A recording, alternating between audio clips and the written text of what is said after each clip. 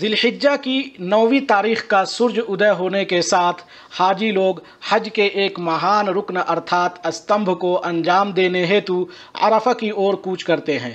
ایک ایسے مہان ساکش والے دن میں جس کے مہان اچ ایوم سماننیے ہونے کے کارن اللہ نے اس کی قسم کھائی ہے۔ اللہ تعالیٰ فرماتا ہے، وَالْيَوْمِ الْمَوْعُودِ وَشَاهِدٍ وَمَشْهُودٍ۔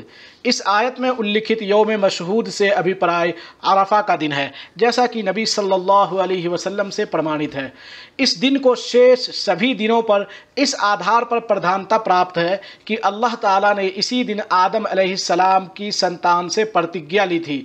یہی وہ دن ہے جس دن اللہ نے اپنے دین کو پورن کیا تھا، تتھا نبی صلی اللہ علیہ وسلم ایوم اس کی امت پر اپنی نیامت مکمل کی تھی۔ یہ پاپوں کی چھما ایوم نرک سے مکتی کا دن ہے، تتھا عرفہ میں ٹھہرے ہوئے لوگوں کے لیے عید کا دن ہے۔ نبی صلی اللہ علیہ وسلم نے حج نہیں کر رہے ویکتیوں کے لیے اس دن روزہ رکھنا مشروع قرار دیا ہے۔ فرمایا، عرفہ کے روزہ کے بارے میں مجھے اللہ سے گمان ہے کہ یہ اگلے ایوم پچھلے ایک ورش کے گناہوں کا کفارہ، ارتھات پرائشچت ہے۔